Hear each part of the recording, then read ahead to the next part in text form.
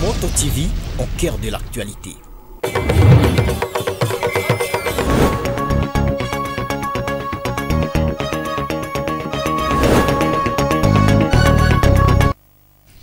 Mesdames et messieurs, merci de nous rejoindre pour ce nouveau rendez-vous de l'actualité et nous les commençons par les sommaires. Ils ont déjà leur fait de route et s'apprêtent à rejoindre leurs entités respectives. Les maires, bourgmestres et administrateurs de villes, communes et territoires sous état des sièges ont conféré mercredi dernier avec le ministre de l'Intérieur au sujet de leur mission, à savoir la restauration de la paix à l'est de la République démocratique du Congo. Mesdames et messieurs, c'est tout pour les sommaires. Restons ensemble pour l'intégralité journal. D'abord, cette actualité, les convois de retour à Goma pour les sinistrés de l'éruption volcanique du 22 mai dernier se poursuit. Ce jeudi, c'était le tour des ceux ayant trouvé asile à Bukavu. Ils ont été accueillis au port privé Emmanuel de Goma par le vice-gouverneur, le commissaire divisionnaire adjoint Romy Ekula Lipopo. Plus de détails dans ce reportage de Célestin Sibomana, attaché de presse au gouvernorat des provinces. Exécution du plan de retour des déplacés de l'éruption de Niragongo. Ce troisième jour a concerné le déplacé de Bukavu Goma. Il est 6h30 minutes de ce jeudi 10 juin 2021. Deux bateaux loués par le gouvernement central, l'un d'eux à bord duquel le déplacé accoste au port privé Emmanuel de Goma. Sur place, le vice-gouverneur est là pour l'accueil et le suivi des mesures humanitaires exécutées par la protection civile. Ici, ce sont les habitants de Goma qui ont été évacués vers Bukavu et qui sont en train de rentrer à leur bercail. Nous avons disponibilisé et nous disponibiliserons autant de bateaux que possible pour faire revenir tous les habitants. Et au moment où nous sommes ici, vous voyez, il y a un bateau qui vient d'arriver et d'autres bateaux suivront également si nous estimons qu'il y a encore beaucoup de gens de l'autre côté de Bukavu. Donc, selon le nombre qui est ici, nous jugerons et nous demanderons aux autorités de la province du Sud Kivu, s'il y a encore des déplacés de l'autre côté, nous enverrons également des bateaux pour les faire revenir.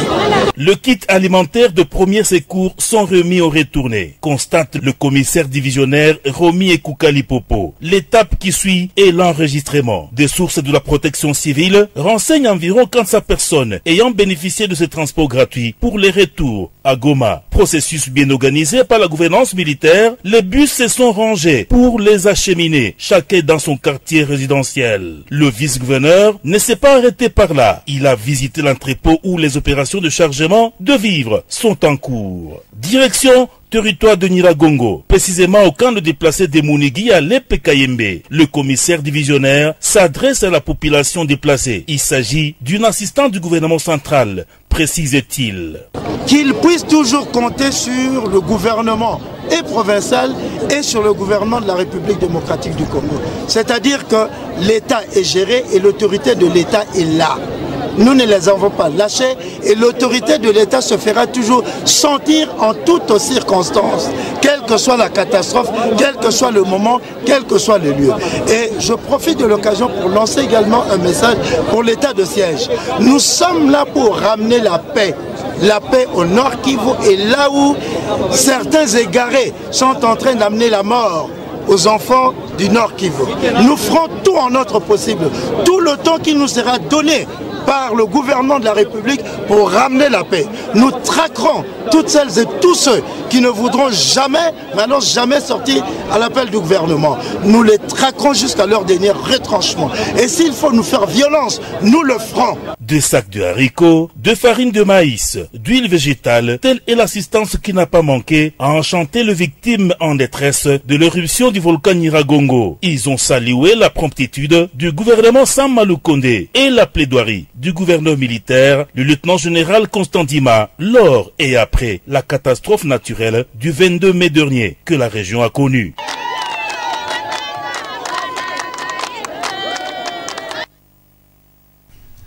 Le ministre de la Communication et Médias ainsi que les porte-parole des FRDC de la PNC ont, conjointement animé une conférence de presse mercredi 9 juin 2021 C'était pour faire part aux hommes des médias de l'évolution de l'état des sièges en cours en Ituri et au Nord Kivu. De par leur communication, l'état des sièges est en train de payer, bien que les massacres de civils continuent. Isabelle Wangahemuka, détail. Au cours de cette adresse, le porte-parole des FARDC, le général Léon Kassonga, adressait un bilan élogieux des opérations militaires des FARDC depuis l'instauration de l'état des sièges. D'après lui, les FARDC ont réalisé de prouesses sur les lignes de front en mettant en débandade les ADEF. Nous avons contrôlé et occupé toutes les places fortes de l'ADEF et ses forces, euh, supplétives locales. Nous avons neutralisé 35 ADF, dont 14 étrangers. Nous avons capturé 5 leaders de l'ADF qui sont en exploitation en ce moment par les services, de manière à savoir qu'est-ce qu'ils sont, qui sont-ils, comment ils ont planifié, quoi ils ont planifié, qu'est-ce qu'ils vont faire dans l'avenir, de manière à prendre des dispositions pour neutraliser ceux qui seraient obligés ou seraient désignés pour faire telle ou telle action contre la population. Nous avons appréhendé 70 collaborateurs. C'est des Congolais comme vous et moi, vivant dans ce secteur-là, qui ont décidé, qui ont vendu leur âme au mal, qui ont décidé de vivre ou de collaborer avec les égorgeurs de manière à leur donner des indications sur le mouvement de la population, sur le mouvement des forces armées, sur les activités militaires.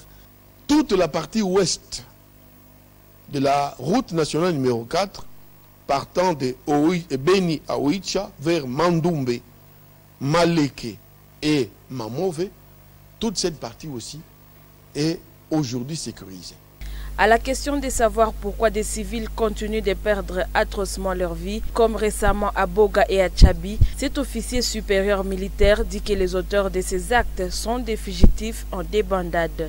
Les éléments terroristes qui ont échappé à nos frappes ont quitté Beni, se sont dirigés vers Tchabi et sont allés vers Boga.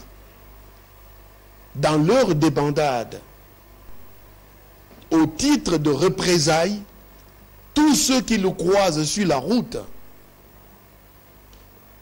il les tue. C'est aussi clair que cela. Ce n'est pas que nous avons des effectifs moindres par rapport. Non.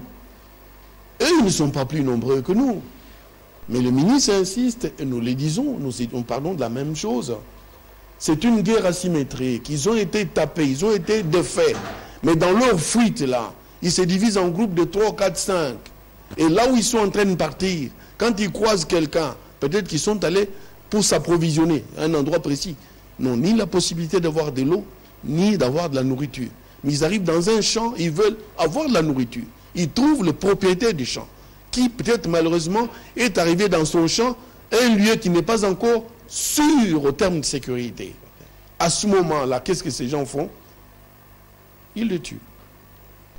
Le ministre de la Communication et porte-parole du gouvernement, Patrick Mouyaya, a à cet effet appelé la population à intensifier sa collaboration avec les FARDC. État des sièges encore, le vice-premier ministre et ministre de l'Intérieur et Sécurité a réuni mercredi 9 juin dernier les autorités militaires qui vont gérer les villes, les communes et les territoires du Nord Kivu et des Littoris pendant cet état des sièges.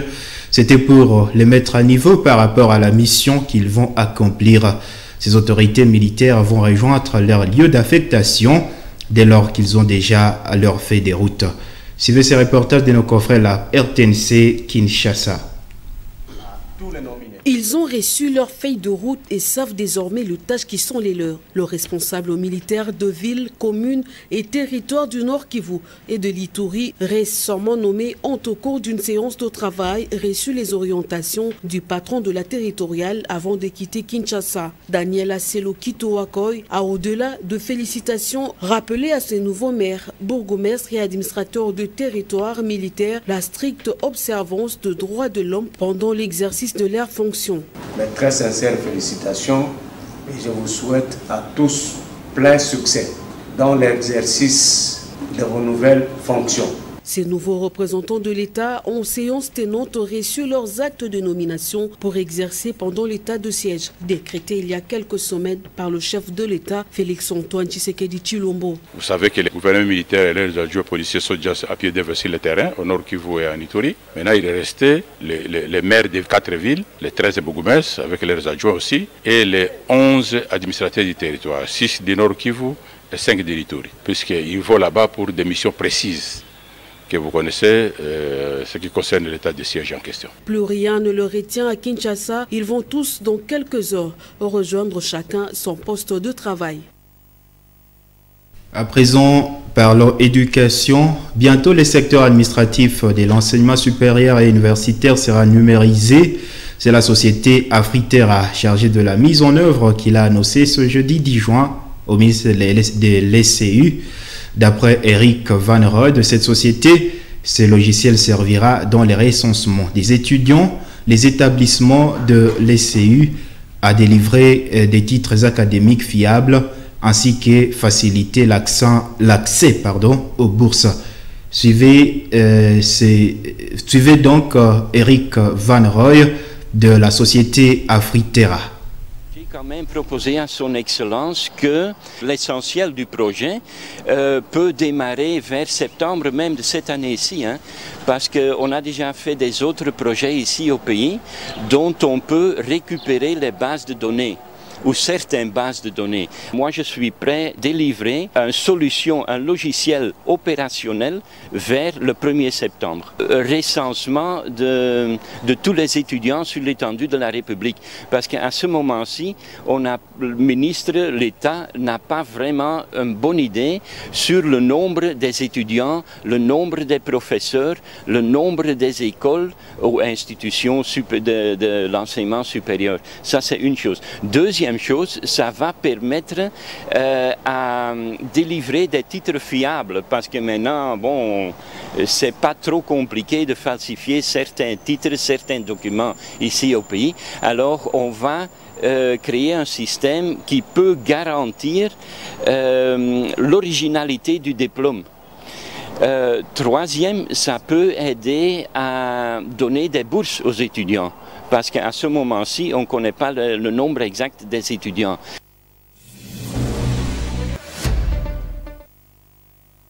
C'est l'actualité sportive. 52, 56e Coupe du Congo. Un premier représentant du Grand Nord Kivu file en quart de finale. Il s'agit de l'US Lubero Sport. Les Rouges et Blancs de Lubero ont effectué un match fou et plein de spectacles l'après-midi de ce jeudi 10 juin. Ils ont eu une tâche difficile le long de la rencontre.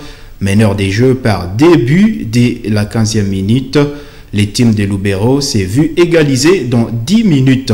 Même après avoir totalisé 4 buts, l'équipe de Lubero s'est vue rattraper au score par Munianko Douvira.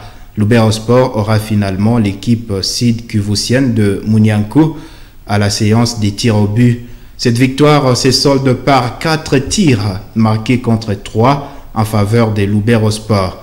Grâce à sa victoire, les rouges et blancs de Loubero vont rejoindre Kinshasa où ils vont disputer les quarts de finale dans une semaine. L'Esnuc de Boutimbo est à l'attente de son tour. Il jouera euh, l'AS Mapenti le 15 juin prochain à Kinshasa. Et préparatif euh, du mondial Qatar 2022, les Léopards RDC livrent leur deuxième rencontre amicale l'après-midi de, ce vendredi 11 juin à 16h de Boutimbo, perdant face aux Aigles de Carthage de Tunisie. Hector Cooper va diriger son deuxième match officiel à la tête des Léopards RDC ce vendredi face aux Aigles du Mali. La RDC dont on parle à, deux, donc à deux de ces joueurs déjà déclarés forfaits pour des raisons des blessures. Il s'agit de Gaël Kakuta et Johan Wissa. Mesdames et messieurs, c'est par ces informations sportives que s'achève ce journal. Merci infiniment à vous toutes et à vous tous qui l'avez suivi, où que vous soyez. Au revoir.